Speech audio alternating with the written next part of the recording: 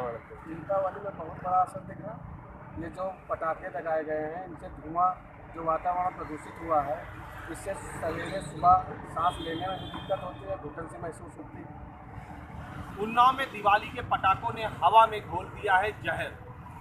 पटाखों से निकलने वाले धुएँ ने उन्नाव की आबो हवा को इस कदर प्रदूषित कर दिया है कि सांस लेना भी लोगों के लिए मुश्किल हो गया। है केंद्रीय प्रदूषण बोर्ड ने इसके लिए अलर्ट जारी किया है और शहर में कई जगह प्रदूषण को नापने के लिए यंत्र भी लगाए गए हैं। वहीं स्वास्थ्य विभाग के अधिकारियों की माने तो लोगों को सचेत किया है कि इस प्रदूषण भरी हवा से बचें और मॉर्निंग वॉक से निकलने वाले लोगों के लिए भी खास निर्देश दिए कि वो मास्क पहनकर ही निकलें। उन्नाव से वीरेंद्र यादव ई टी भारत।